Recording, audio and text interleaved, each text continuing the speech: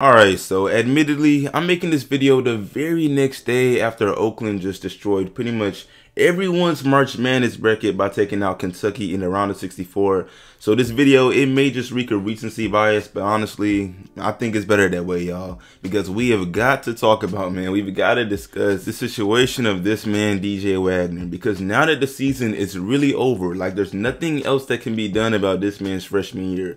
We can all see, no one else can be in denial as far as what he's shown us or, or as far as things improving. Now listen, again, I'm no DJ Wagner hater, but we gotta call a spade a spade. Man, yesterday in a total of 17 minutes, the man dropped zero points on 0 for 5 shooting from the field and 0 for 4 shooting from 3. Listen, man, what is that? I remind everyone, and like, I cannot be the only guy that feels bamboozled. At the time that this man committed to Kentucky, right? He was the number one overall prospect in the nation. The number one overall. And they don't just hand that out to anyone. Promises were made to this man that he would be that he would be guaranteed a spot in the starting lineup, regardless of how great or poorly he was playing. And as we seen during the actual season, that remained consistent. I'm talking about, listen, I know we gonna get to Robert Dillingham later. He didn't play well yesterday either. But for the majority of the season, man, what? Robert Dillingham was cooking teams, putting his offensive abilities on display, and they still stuck him on the bench in that six-man role. This is because of DJ Wagner.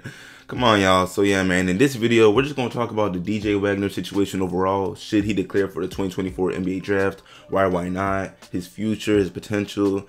Yeah, man. So yeah, go ahead and let me know. What do you think of Kentucky, John Calipari, and what you witnessed yesterday if you keep up with March Madness or just 2024 draft prospects? And yeah, man, really quick before I go any further. What's up, YouTube? PlugSpeakz back with another video. If you're new, first of all, welcome. Go ahead and sub. Also, like the video if you enjoy. They upload quality basketball content, and we are on the grind of 5K, so I'd most definitely appreciate it. But back to the video.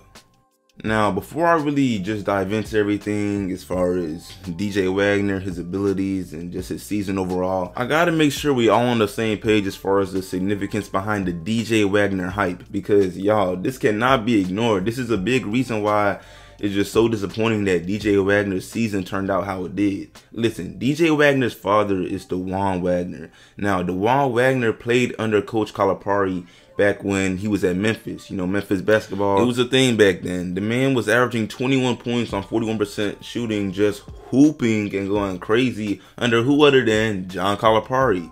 So as y'all can see the connection right there because John Calipari, he spent some time at Memphis. I think the last significant player he coached was Derrick Rose before he officially went to Kentucky and built his reputation up. I know that's kind of crazy to say now considering the man's reputation is kind of going down the drain, but you got to listen to me in saying when he first went to Kentucky, his reputation was on the rise. But anyway, I don't I don't want to give too much of a history lesson. Man, the main point here is that Dajuan Wagner wanted for his son exactly what he experienced at Memphis under John Calipari, which was great development and just a great overall experience, leading to him being one and done and going to the NBA. This was the vision and the goal. Pretty much the everything for DJ. I mean, his father literally laid out the blueprint. Play well under John Calipari and you will go to the NBA. I mean, it got to the point that even though DJ Wagner was the number one overall prospect in high school, no other D1 schools like UNC, you know, those top tier Duke, Villanova, UCLA,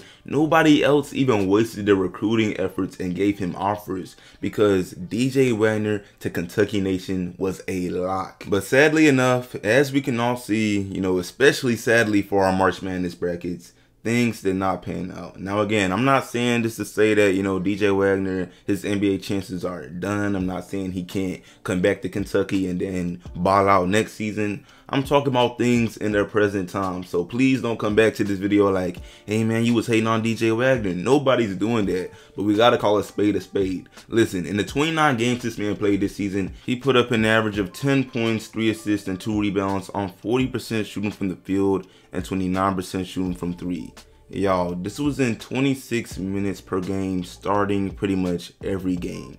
I mean, come on now. Do with this information what you will. Because I can literally put up Robert Dillingham stats on the screen and you, you will see that this man produced more in less minutes. And yet my boy, he never got an opportunity to just start for the team and show what he could do with starter minutes. I understand that, hey man, he could come in off the bench, you know, provide that spark that Coach Calipari just swears the team needs, but I don't understand it. I really don't understand it. You've got to at least test the waters and give Robert Dillingham a chance to start, especially if this man DJ Wagner is doing what he's doing. I mean, at this point, let me just put a good chunk of DJ Wagner's game log on the screen because as you're gonna see right here, the man did not have terrible games every time. Like he had some games where he shot six for seven from the field, four threes, 19 points. Other games where he may have shot one for six from the field, dropped two points. Other games where he shot eight for 12 from the field, 18 points. It's just a level of inconsistency. Like, bro, you just cannot be doing that when the team practically lives and dies by you. And when I say that, I mean the fact that his starting position was so concrete and so nailed in stone. I mean, what else can you say when somebody does something like shoot two for 10 and drop four points in 30 minutes versus South Carolina? I mean, we just seen South Carolina got bounced out in March Madness as well. That's not a crazy team. The man shot two for 10 this is not this is not what we expected to see from somebody that's a five-star recruit. That's all I'm saying. But anyway, as I end off this video, let me just talk about the Oakland game in general because bro, I've been getting on DJ Wagner a lot, but the Oakland loss is on everybody. From John Calipari to Rob Dillingham to Reed Sheppard, bro, everyone. Everyone. And i'm especially salty because i had them boys in my final four. Now listen i'm never gonna make that mistake again and i'm not even mad at y'all if y'all clown me for that but it's like y'all gotta understand when you have that much talent and you play well for a good majority of the season, you make a believer in people, especially when you're royalty like Kentucky. Like, I don't know, bro. Maybe the players just forgot who they play for. Kentucky is royalty. I know they've been losing lately, but at the end of the day, this team is royalty. Their history is too profound as far as who they bring in and who they deliver to the NBA as far as top tier talent. Like, come on now, Malik Monk and De'Aaron Fox, they weren't doing this. I think they lost in the in the Elite Eight. You know, Anthony Davis, he led them to the chip. You know, John Wall, I think he made the final four. Them boys usually win and produce good seasons, but I don't know, man. I guess, I guess these boys, they done forgot.